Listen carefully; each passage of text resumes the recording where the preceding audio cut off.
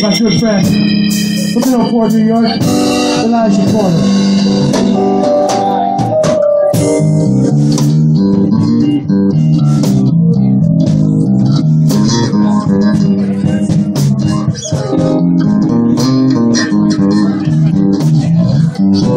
Give